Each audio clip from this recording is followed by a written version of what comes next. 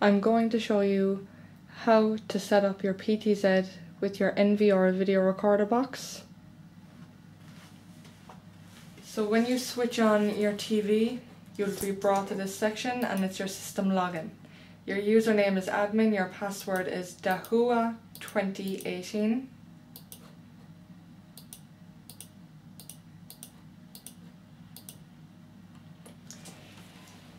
To go into your camera settings, right click, click on main menu, go to camera. Here your camera will automatically be displayed. Let's say for argument's sake your camera was not already there. All you have to do is go to device search.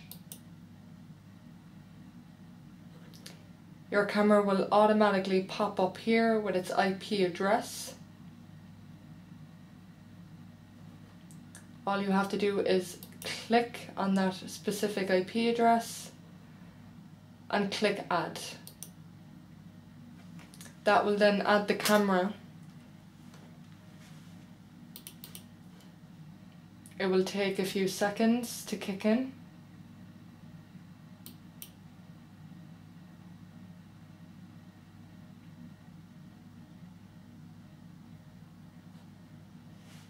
A quicker way to access the camera would be to right click instead of going to main menu you can go to camera registration. I'm going to run through all the settings specifically for PTZ. So the manufacturer should always be on ONVIF. Your IP address will be given to you. That goes in there.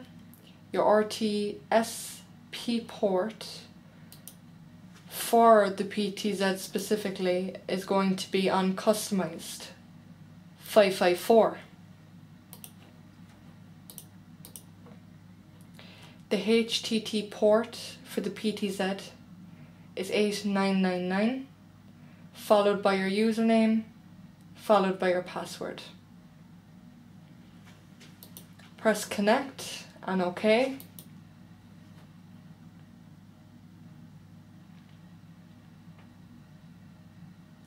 Your camera status is displayed here. Once it's highlighted in green, you're good to go.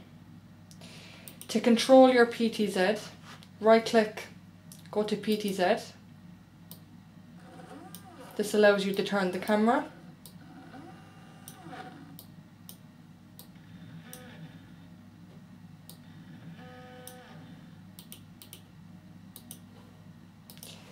back to the camera registration. For a bullet stationary camera, very similar settings. The only thing you're going to be changing is the RTSP port, which is self-adaptation for a bullet camera. Your HTTP port is going to be 80.